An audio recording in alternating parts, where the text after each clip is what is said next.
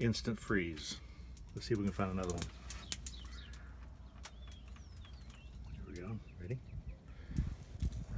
See it. Give it a little shake. There it goes.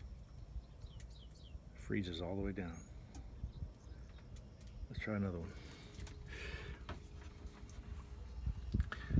Why is this happening? Well, this water has been in this freezer overnight without moving, so it's super cold. Okay, get ready. There goes. Super cold water. One more.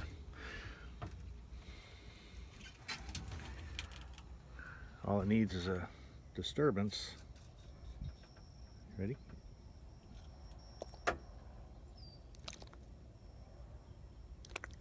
Oh, there it goes.